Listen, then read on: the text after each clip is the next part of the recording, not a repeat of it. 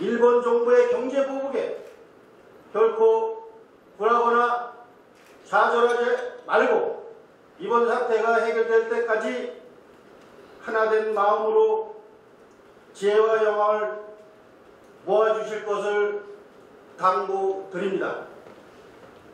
모든 국민들은 이번 사태가 해결될 때까지 일본 여행 및 일본에서 수입되는 상품 구매를 자제할 것을 촉구하며 우리 가평군 의회부터 적극 참여할 것을 결의한다.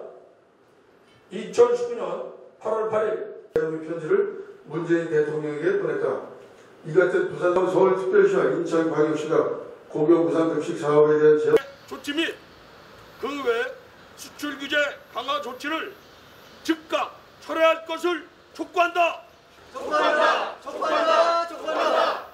하나, 일본의 모든 상품은 사지도 않을 것을 모